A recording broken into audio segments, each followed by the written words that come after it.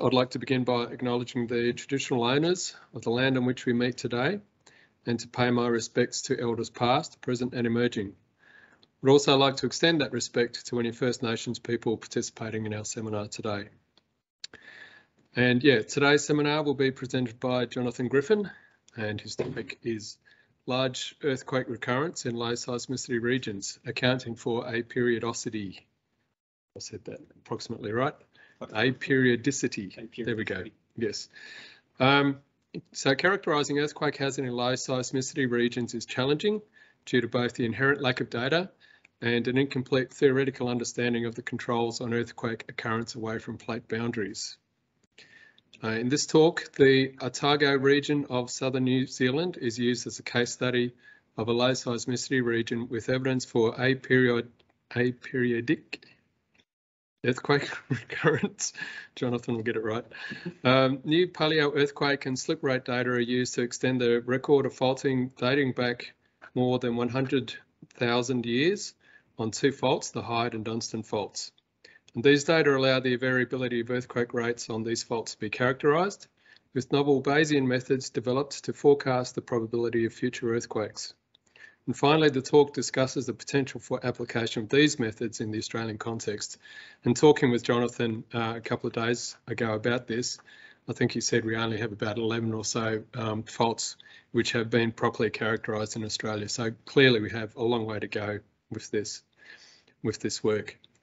Um, about our speaker, Jonathan Griffin joined Geoscience Australia's graduate program in 2007, following completion of a BSc and uh, Bachelor of Maths at the University of Wollongong. GA has worked in a range of earthquake and tsunami hazard programs in Australia and our region, including three years based in Jakarta, supporting Indonesia's efforts to understand their hazard and reduce risk. Jonathan's primary interests are in characterising the sources of potential earthquakes before they happen using geological, historical and instrumental data. From 2018 to 2021, he completed a PhD thesis at the University of Otago in New Zealand, of which some key findings are presented in this talk. And one of those key findings that he won't uh, present is that uh, Australian ski fields are a bit disappointing compared to those in uh, southern New Zealand. Please welcome Jonathan.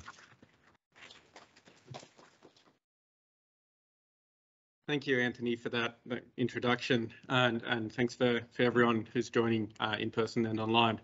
Uh, so today um, I'm going to be talking about uh, understanding the, the recurrence of large earthquakes and, and focusing on regions of, of, low seismicity, so regions away from plate boundaries that, that don't, you know, necessarily have a have a lot of earthquakes occur and that are data poor and potentially uh, show more irregular or aperiodic earthquake recurrence. So we uh, present some, some data fr from this and, and talk about how we might treat these areas. Uh, so before I go on, I'd, I'd really like to acknowledge uh, a huge range of people that have uh, helped um, with the, the work that I'm, I'm presenting today. So uh, my PhD uh, at the University of Otago was supported by a Geoscience Australia Development Award, and, and, I'm very grateful for um, I guess Martine and, and Andy Varnicoat uh, in particular for uh, being so supportive of, of, the proposal to to do that. Uh, I'm really grateful to my, my primary supervisor, Mark Stirling at, at Uni of Otago, and my co-supervisors, Ting Wang and, and Matt Gerstenberger. Uh, a whole host of other people that have helped out in various ways in, with field work and and uh, writing and, things like that, and and the New Zealand earthquake community. It's it's been great to be a part of that and and see um, you know all the all the fantastic things happening there. Um, and finally, you know, very grateful to my my family uh, down here uh, for for joining me on this this adventure that we, we had over to Otago to Dunedin uh, to do this this study. So today the, the question we're really looking at is is when will the next large earthquake occur and and that's sort of something that we're going to explore we're going to look at what we can find in the, in the geological record and and look about what we can say probabilistically about when when a future large earthquake will occur. So I'm going to look at what the the global long-term uh, earthquake record tells us uh, and then I'm going to dive into the, the Otago region of, of southern New Zealand as a, a case study of a, a, relatively low seismicity region, uh, but where we do have some, some good data on, on past uh, earthquake occurrence. I'm going to talk about how we can use this um, these data to develop uh, better probabilistic forecasts of, of the, when that, that future large earthquake might occur. And finally, I'm going to uh, finish by discussing briefly some potential application to Australia. Uh, so just for, for a bit of context of where most of this, this work is, is taking place, uh, this is the, the South Island of New, of New Zealand, and um, you know you can really see this this striking feature here, really shown uh, you know just by the, the snow line here. It's the, the Alpine Fault. It's the main uh, plate boundary uh, cutting through the the west coast of of the South Island, uh, and we've got this oblique convergence uh, between the Pacific and Australian plates of about 37 millimetres a year. And so over on the on the west coast, you know, you've got uh, it's it's mostly strike slip, but there is a lot of um, transpression as well, and you've got uplift of the Southern Alps. You've got these kind of big mountains catching a lot of rain, huge erosion rates. It's you know it's quite wild, but it's also quite exciting that you can go and actually um, put your put your finger on on a plate boundary here. And so uh, here in, in, this photo down the, the bottom left. Um, we can sure if that mouse is showing up. But uh, in the bottom left, essentially, uh, where my finger is, below that is you know late um, late Pleistocene or early Holocene glacial gravels, and they're over thrust by uh, gouge and, and uh, from the, the Alpine fault damage zone. So, you know, it's really exciting to be able to go and put your finger on a plate boundary and, and poke it and, and see if anything happens. Uh, but then uh, the, the main area that I will be talking about uh, today is um, this Otago region. Uh, so it's east of the, the plate boundary in the, uh, the southeastern part of um, the South Island. And you can see again in the, the snow line here, um, sure if that mouse is, anyone see a mouse? Um, anyway, within that, that orange square there, you can see a, a series of snow lines, which is the, the ranges that have been uplifted on a, on a series of parallel um, northeast trending reverse faults. And they're the faults that I'm, I'm primarily going to be, be talking about today. Uh, so this this key question of, of, when is the, the next large earthquake going to occur? So what I'm really talking about here is considering the case of uh, repeated or recurrent large earthquakes on, on a, any particular fault. So so we have faults uh, earthquakes occur on, on faults, uh, if we um, if we know when one has happened in the past or when several earthquakes have happened in the past, can we make some inference about the, the timing of the, the next large earthquake to, to happen on that? And by large, I'm, I'm meaning earthquakes that are, that leave a geological record in the landscape. So these these surface rupture, these deform the landscape and, and leave a record there that we can go and, and look at and, and date and and um, and understand.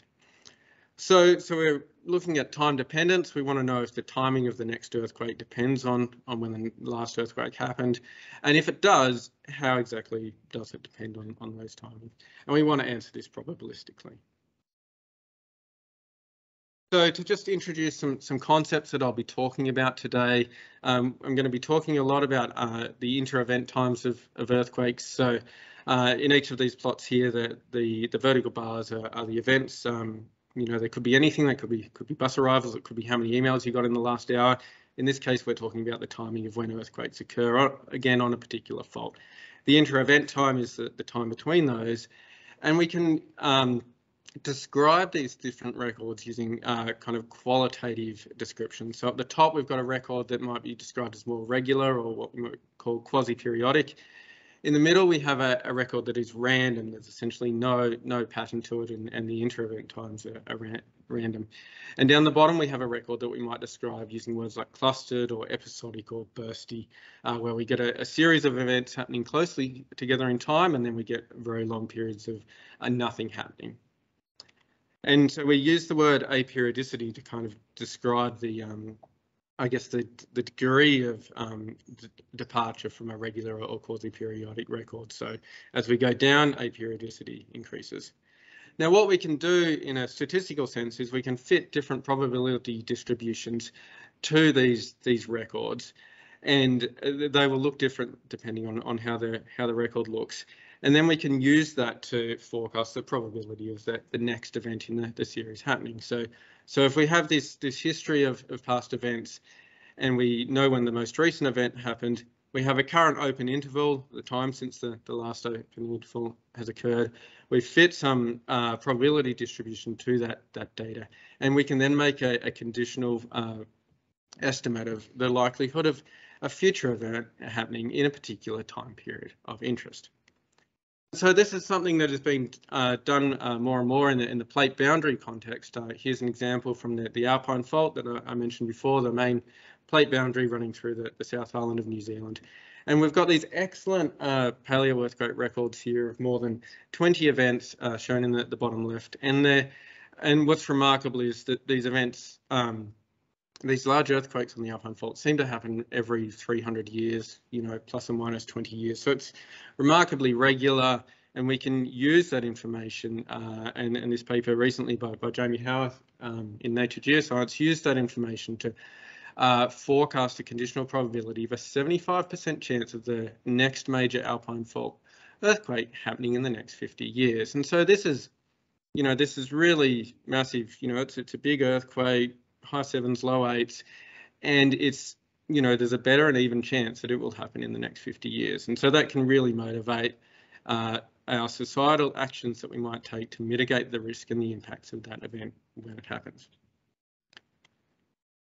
So that's really nice, and, the, and this Alpine fault record is really nice. It's long, it's regular, and we can um, you know make forecasts with that. And and what's also nice is that this is kind of what we expect with theory. So elastic rebound theory, which was really developed by, by Reid after the um, 1906 San Francisco earthquake, uh, is, is the basis of the standard earthquake uh, cycle model.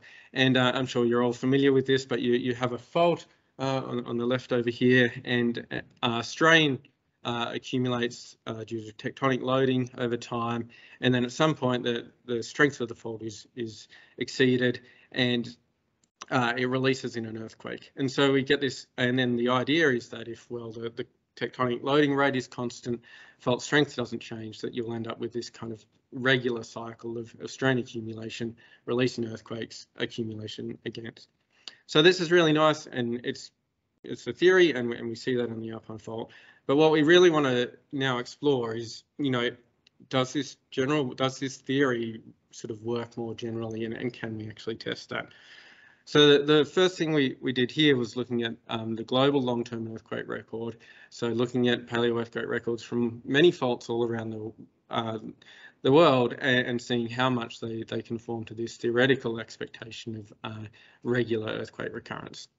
So to do that, coming back to, to these plots, we we use a, a particular measure called burstiness uh, to basically describe um, how, how bursty or, or, not bursty a particular record is. So the, the plot down the bottom, the, the clustered or episodic or, or bursty record has has higher burstiness and the, and the plot at the top that is quasi-periodic has a, has a low value of burstiness.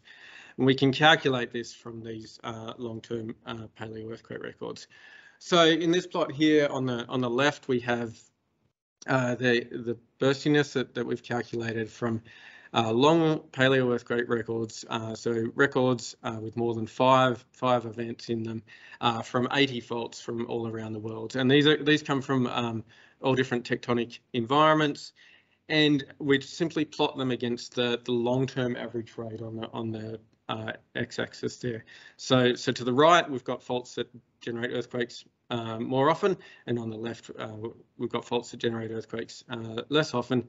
And what you can see is that basically most most faults in the right half of the, the plot here um, have a have a negative burstiness, and that means that they're they're more quasi-periodic. They're they're more uh, regular than what we might expect if it was a completely random process.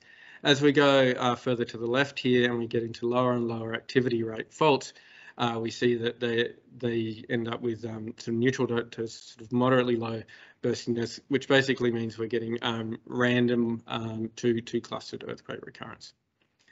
Uh, sorry. Now, there's a lot of uncertainties here in, in dating and the, the chronologies for these events, and so and just the small numbers of um, earthquakes that happen in most earthquakes mean that in testing this um, rigorously is, is challenging. So what we we did was um, come up with an ensemble-based hypothesis test here, and this is shown on the on the right-hand side. And we we took all the the um, so that what's shown here is in the blue is what we might expect the distribution of burstiness to be for all of those faults if they gen all generated earthquakes randomly. So earthquakes occurred. Uh, this is a Poisson process. And then we have in the, the orange the, the distribution of, of burstiness that we get from the actual data. And so we can see that those two distributions are different and we can test that. And so we can, while at an individual fault level, it's difficult based on limited data to reject this model of, um, of random earthquake recurrence. When we use an ensemble based approach, uh, we can do that.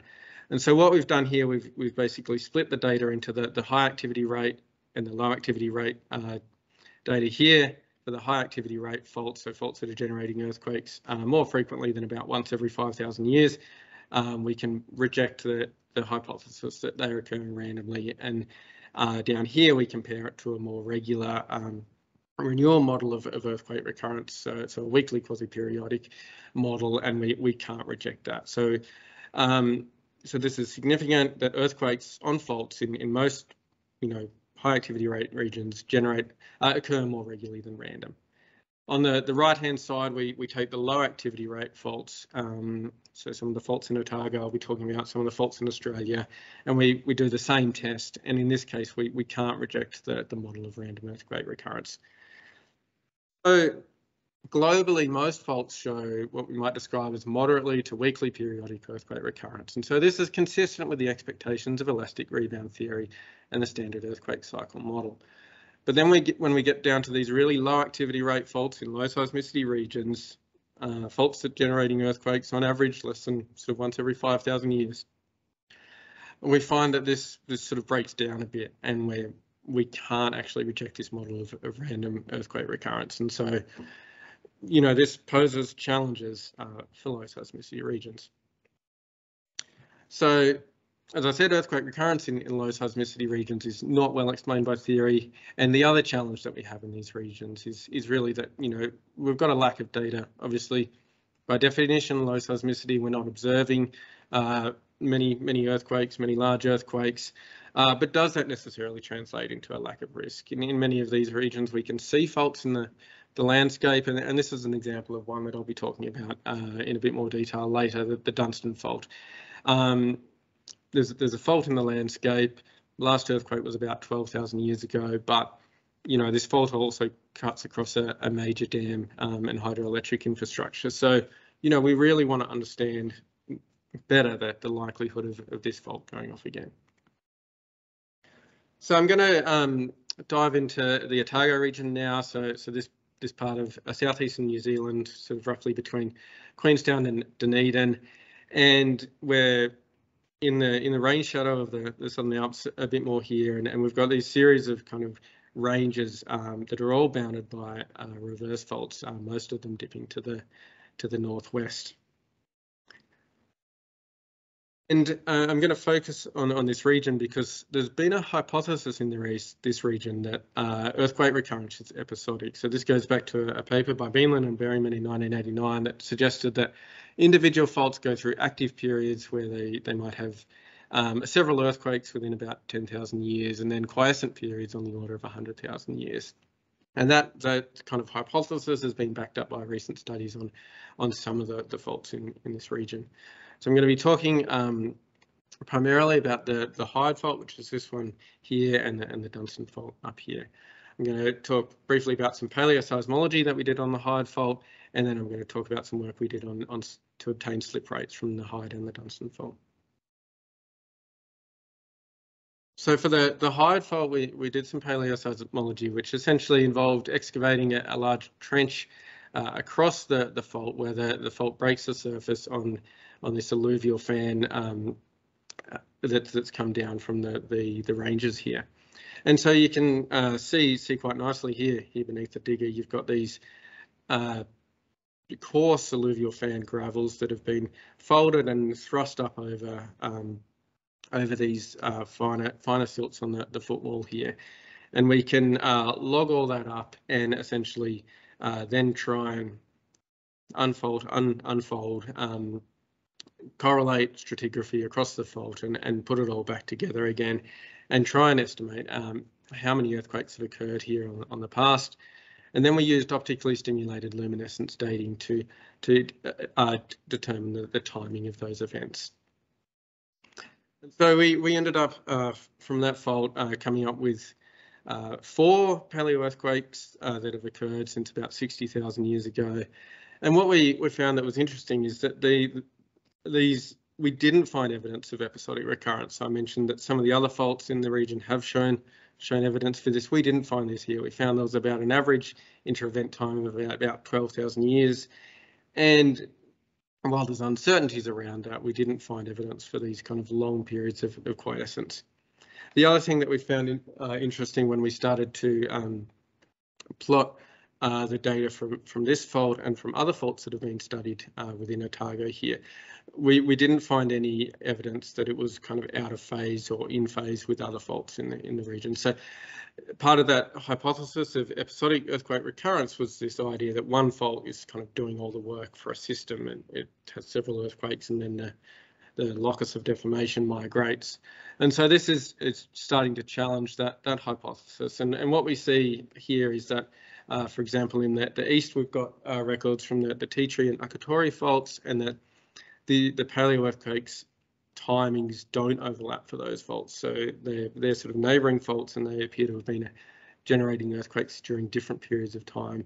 Uh, for, for the Hyde fault, we see that it's generating some earthquakes within the same general period of time as the, the Titri and, and the Dunstan fault um, over here. So what we're what we're seeing is that it is a little bit more complex, and that simple model of episodicity um, maybe you know isn't needs to be refined a little.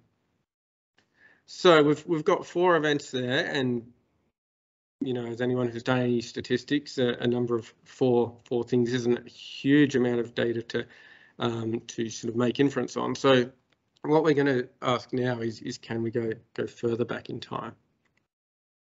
So this is um, looking at slip rates now. So trying to go back uh, and see if we can look at the, the slip rates further back in time. So when we do paleoseismology, we dig a trench across the, the fault and you know there's there's limits to basically how big and, and deep that that trench can be um, and how many events that we'll capture and this is particularly the, the case for reverse faulting because each subsequent earthquake buries the, the evidence of, of previous earthquakes so further back in time you go, the, the deeper you sort of want to go. So we're going to use some different techniques here, and we're going to, to go try and go back in time on the, the Hyde fault and also on the, the Dunstan fault. And these faults are interesting. I just talked about the Hyde fault. We've got four paleo earthquakes fairly evenly spaced. On the Dunstan fault, we have a, a paleo earthquake record with four to six earthquakes between about 12 and 24,000 years ago. And we've got a long open interval before that, um, you know, probably going back another 20 or 30,000 years, and we've got no earthquake since 12,000. So we've got more of a, a, clustered model there. So what we're going to do by going back in time is trying to sort of put some constraints on the, the longer term behaviour of these faults. So to do this, we used um, beryllium-10 cosmogenic radionuclide dating of boulders um, on fan surf, on alluvial fan surfaces that have been uh, faulted by, by these faults. And so basically, um, how this works in, in my limited understanding is that, you know, things go bang in space many millions of years ago. You get cosmic rays traveling through the through the cosmos down in the atmosphere, generating secondary particles, and that these interact with uh, quartz uh, in the in the rocks um, on the surface and generate this beryllium-10 isotope. And, and, it's quite depth dependent, so, so rocks that are, that are buried are, are, not going to be generating this isotope. So it's a measure of exposure age and so we can relate that to the deposition of these fans by saying that these these alluvial fans have come down probably in sort of mass wasting events off the off the ranges, and we've had um, boulders deposited sitting on the surface, fresh surfaces exposed to the, the cosmos, and then from that point, the point of formation or deposition of the surface, they start to accumulate this beryllium-10 isotope. And so this was measured at at ANSTO and then used to um, determine the estimate the age of formation of these surfaces. So this is uh, showing uh, some some example and some results from the, the Hyde fault here. So on the left we have uh, a LiDAR uh, hillshade model, and you can see there's a there's a whole series of um, different fan surfaces here, we've mapped them out in different colours that, and we can determine the relative ages of them based on their um, the deposition histories there. And, and, these are quite large. So these ones, uh, looking in the image on the top right, uh, are sort of up to nearly 30 metres high. So you are looking at about 30 metres of vertical offset on, on those faults and, and the faults dipping, so even greater slip on the actual fault itself. And so we've got these these rocks on the on the surface that we've been able to date, and, and here we go back to about 110,000 years. And it's similarly, uh, this is the, the site on the, on the Dunstan Fault. We have a, a nice uh, flight of alluvial fan terraces uh, shown here in the in the LiDAR on the left, um, stepping down in in age. So as, as we as we step down to, to a lower terrace, we're, we're getting younger. And the oldest terrace here, we're getting ages back of up to sort of 320,000 years. So this was, you know, older than we, we really expected. Um, and, you know, probably at the limits of where we can apply this this sort of technique, at least in this kind of environment, you, you start to get some errors coming in with, with boulders that have flaked off bits and, and things like that. So we've got these, we've got the ages um, of these surfaces with some uncertainties. And then we've also measured the vertical uh, displacement of those surfaces due to faulting since they've been deposited. And so we can then use that to get at vertical displacement rates or, or, slip rates. And so we can plot up each of these, these data points and then start to um, fit, fit curves to them and, and look at kind of the long-term average fit. And then we can also look at the incremental fits as well. So between each, each data point and start to get an idea of how how variable um, the, the, slip rate is. And, and I guess the, the key point here is that there's some variation that you see on kind of the, a 10,000 year time scale. So kind of somewhat reminiscent of that, that episodic earthquake recurrence, but model, but at the same time, once we're kind of averaging out over 100,000 year time scales, the, the rate of uplift is, is approximately linear. And so this is essentially bounding how irregular or how strongly clustered some of these um, earthquake records might be. So we had that clustered earthquake record for the Dunstan fault that wasn't really constrained um, with the open interval uh, prior to it. And so this is starting to, to bound that and, and help us um, understand that while there might be variability in earthquake rates over the long term, you know, this fault just keeps going up and, and we, we want to hit that long-term slip rate as well. So coming back to this question of when will the next large earthquake occur on, on these faults, and now of course we're going to answer this question probabilistically. Um, I'm not not into earthquake prediction, uh, but we're going to try and use this data to to get a handle on on the chance, if you like, of the of a future large earthquake occurring on on one of these faults. So I talked at the um, at the start about the the Alpine fault record, and where you have a really nice long paleo earthquake record, and it's it's fairly regular you can essentially fit some kind of statistical model to that, and you can use that to get your conditional probability. But what we more often have in, in, in these low seismicity regions is something that look like looks like this. We might have a few events, three or four events, um, some open interval back in time, and you know then essentially no data. And so we really don't know. Is this just you know have we just observed some cluster and there's a really long period of quiescence before it, or is it actually a more regular process? And we, we've just seen the last three events. So this is where we try and bring in this longer term slip rate or, or vertical displacement rate data because that's starting to give that long-term context that we can't necessarily get from the, the paleo earthquake record. So we want to stitch that together. And what we want to do is then relate that to a potential number of events. So when we do the do the trenching in the paleo earthquake record, we, we get an estimate of how much displacement happens in a single event. So then when we have a you know a faulted terrace or something that's been offset, say say five meters within hundred thousand years, we can use that to to estimate that approximately four events might have might have generated that. And again, we we deal a lot with all this probabilistically. So we want to put all that information together to fit some kind of uh, distribution to it to then get at our conditional probability. Um, going to get, get a little technical here. We, what we use um, to do this is uh, this, this Brownian passage time distribution, which is based on this idea of a, a, Brownian relaxation oscillator. So if we go back to our idea that I, I presented at the start about elastic rebound theory, the idea of constant strain accumulation, uh, release in earthquakes, and this kind of quasi-periodic cycle on the left here. If we then add noise to that, we can start to generate more irregular um, earthquake re recurrence. And so what's shown on the on the right hand panels here um, at the top is is essentially that that model um, with with small amounts of noise and we're going to end up with fairly regular um, uh, earthquake recurrence happening here. And as we go down the plot there, we start increasing the, the noise to signal rate or noise to loading rate ratio. And we're starting to get these more irregular um, failures in the system, more irregular earthquakes occurring. And so this is really nice that then we, we take this kind of model of this Brownian relaxation oscillator and the inter-event times follow this distribution called the Brownian passage time distribution, also known as the, the inverse Gaussian.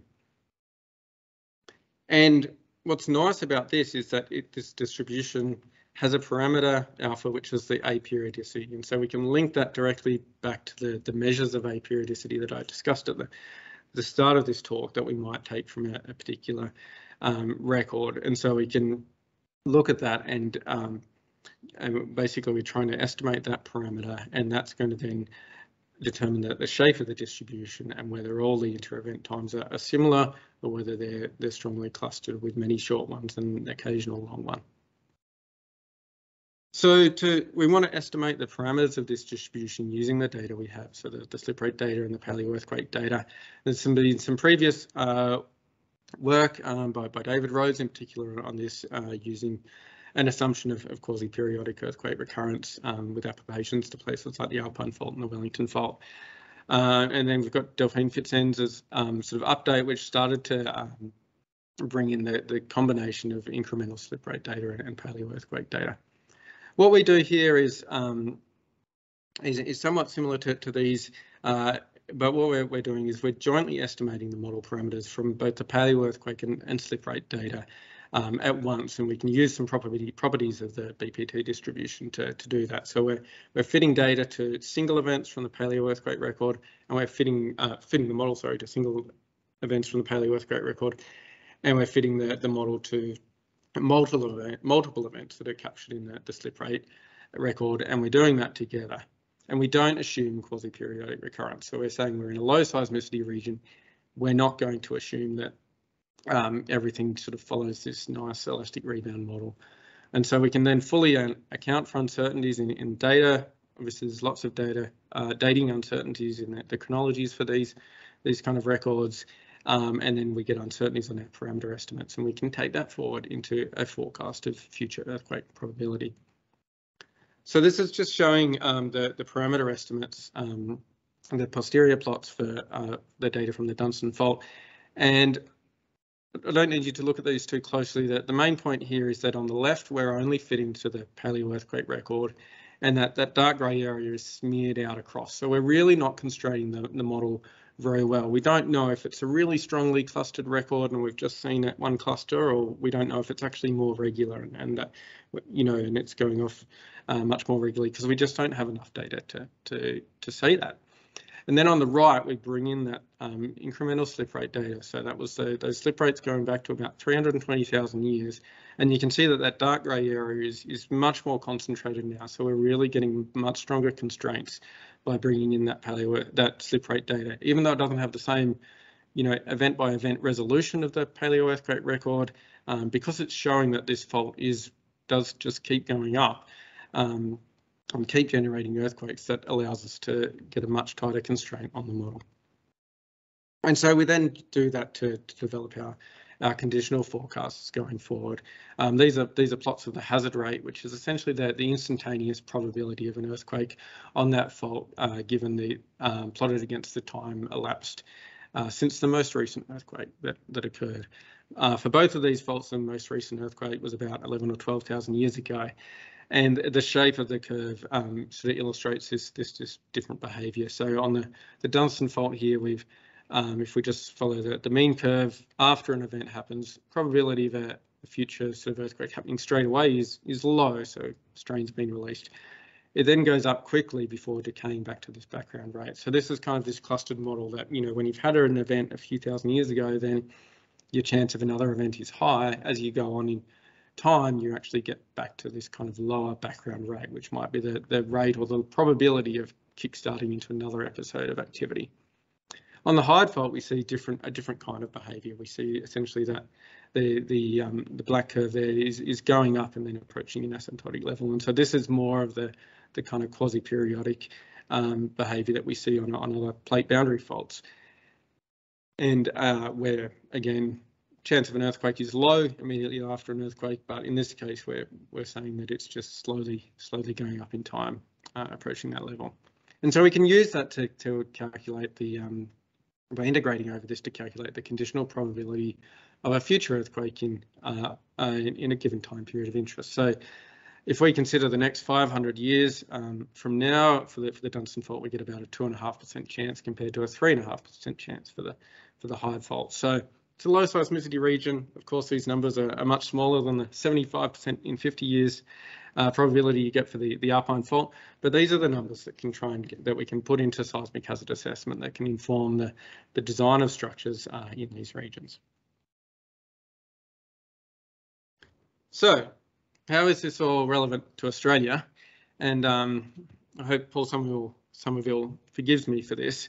Um, he, he made the mistake, and let this be a lesson to everyone, of uh, joking to a reporter after the uh, Woods Point earthquake north of Melbourne uh, late last year uh, to say we can blame this earthquake on the Kiwis. And the, the New Zealand tabloid media had a field day with this and described it as a, a seismic underarm. And but what the point that uh, Paul was trying to make is that you know we've got this plate boundary uh, down here uh, running through New Zealand, and the convergence there, uh, the um, it's oblique between the, the, relative plate motion is oblique to the the Alpine fault, and so we've got this convergent component, and I've talked about that sort of convergent component in the Otago region to the east of the Alpine fault here, and yet in southeastern Australia, we have something similar going on. So we've got this kind of northwest southeast directed uh, convergent stress field here, and um, you know the focal mechanism of the, the Woods Point earthquake is is largely consistent with that. So so there's there's a link there. Um, but I guess the the real point to make in terms of application to Australia is that you know, we've got all these neotectonic features identified, which is, you know, primarily the, the work of Dan Clark. Uh, we've got over 350 neotectonic features identified, and less than a dozen of them have really been characterised with any kind of geological constraints on how often earthquakes happen, how big they are, do they happen regularly, do they happen irregularly. And so that means that when we come to doing our, our National Seismic Hazard Assessment uh, to underpin a, a range of earthquake mitigation efforts, we're really relying on expert judgment as opposed to data. So we've got limited data on a few faults, we use expert judgment to basically extend that data to the other 340 odd, odd faults in Australia. And so, you know, there really is scope here to, to do more, more data collection and to start applying some of these kind of techniques that I've been talking about uh, here in Australia. And I, I just show as an example to, to finish here uh, down in the, in the Snowy Mountains. We've got the um, these are these red lines are, some of the neotectonic features that, that Dan has mapped down here. This is the uh, the, the Berridale Wrench. And, you know, if we zoom in on, some of the LiDAR data, we can see um, on this, this right-hand image, we've got a what you, looks to be a fairly youthful kind of stream environment. And uh, there's uh, an offset along that, that fault there. There's a vertical offset of about two metres across that um, and probably a, a larger strike um, offset as well. And if we go further along the fault, this is about a kilometre to the to the northwest, we have an older, what appears to be a, a sort of alluvial fan surface that, that's been offset about um, eight metres or so. So you know, multiple earthquakes um, have have offset that that surface, uh, and and we don't know how old they are. Um, you know, we can eyeball the geomorphology and and and say, you know, this is this is older than that one but we really can't quantitatively yet constrain that. And and so there's you know a real opportunity here, uh, and there's you know this is just an example. There's there's plenty of other other examples um, throughout the Snowy Mountains and indeed throughout many of the other areas that, that Dan's mapped in, in Australia, uh, where we could begin to, to actually get some constraints on, on the activity rates of these faults. And this is significant. Here again, I talked about in the, in the Otago context that the importance of understanding the recurrence on the Dunstan fault to the, the big dam and hydroelectric uh, plant that, that ran across the fault there. And, and there's very similar things happening in the, in the Snowy Mountains there. We've got Snowy 2.0 going on. We've got expansion of, of the infrastructure, and it's really, you know, fundamental infrastructure for, um, you know, supporting Australia's um, energy security going forward. And, you know, at present, we know that there's these these faults around there. We know it's a low seismicity region. We know they're not generating earthquakes every 300 years like the Alpine Fault, but we don't actually know how often they are generating earthquakes. Um, and so there's a real opportunity there to actually do some fundamental data collection and, and start to characterise the, the hazard better. So to, to summarise, um, globally most faults do generate earthquakes more regularly than a, than a random process. And uh, well, I was talking mostly in this talk about low seismicity regions. In, in more active regions, most faults are generating earthquakes more regularly than random. And this is really nice because it's, um, you know, in line with what is predicted by elastic rebound theory. When we come to low seismicity regions, it sort of breaks down a bit and we don't have a really good theory to explain why earthquakes occur uh, when they do in, in these regions when I, I, sort of looked at the Otago region, um, we started to find that there's these diverse recurrent styles observed. So some faults are, um, are exhibiting this kind of episodic behaviour, but others like the Hyde seem to generate earthquakes more regularly. And so this is showing that we can't really assume too much about some of these regions um, in terms of how these faults behave. And so that really then um, led to the development of this new kind of approach for developing time-dependent earthquake forecasts, that combining the paleo earthquake and slip rate records. And, and one of the key things in this, this approach is to, to kind of remove some of those assumptions about is it quasi-periodic, is it random, is it clustered, and, and kind of let the, the data do the talking. And so, and finally, there's a, a lot of potential for application um, of, of these methods in, in Australia, but you know we really need to uh, get out there and, and collect some more data. So thank you very much. And are there any questions?